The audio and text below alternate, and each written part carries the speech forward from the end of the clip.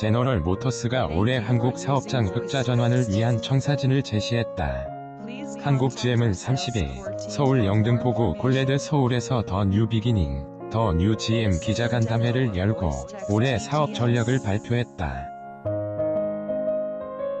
주요 전략은 차세대 글로벌 신제품의 전 세계 출시, 새로운 쉐보레 브랜드 전략 도입, GMC 도입을 통해 확대되는 멀티 브랜드 전략, 정통 American 스타일, 신차 6종 출시, 얼티엄 기반의 첫 번째 전기차 출시로 전기차 포트폴리오 확장, 로베르토 렘펠 한국 GM 사장은 사업 효율성 증대, 새로운 브랜드 전략, 전기차 포트폴리오 확장, 탁월한 고객 경험 제공을 올해 핵심 키워드로 꼽았다.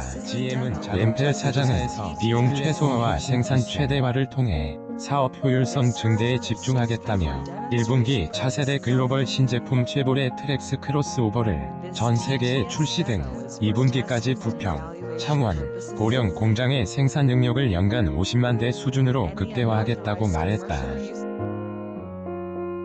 올해 50만 대 생산 목표는 지난해의 2배에 달한다. 한국 GM은 지난해 내수와 수출을 합쳐 약 26만 대를 생산했다. 한국 GM은 쉐보레, 캐딜락, GMC 등 멀티 브랜드를 통해 6종의 신차를 선보인다.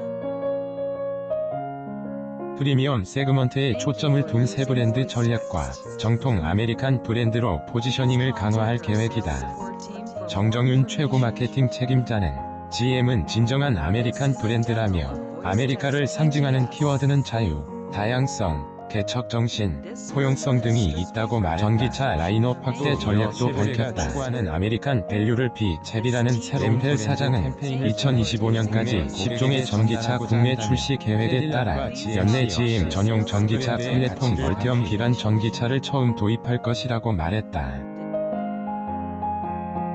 얼티엄 기반 첫 전기차는 캐딜락 리릭으로 연내 국내 시장에 출시한다. 프리미엄한 고객 경험도 올해 중점 과제 중 하나로 제시됐다. 한국 GM은 동서울 서비스 센터 재건축과 400여 개 서비스 네트워크를 통해 수입차 시장에서 프리미엄 고객 서비스를 개선한다.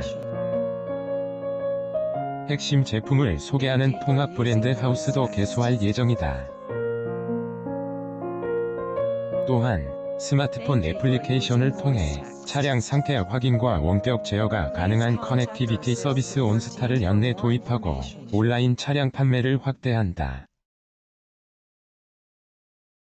2014년부터 3조 원에 달하는 누적 적자를 기록 중인 한국 GM은 올해 신차 출시로 흑자 전환에 성공할 것으로 기대했다.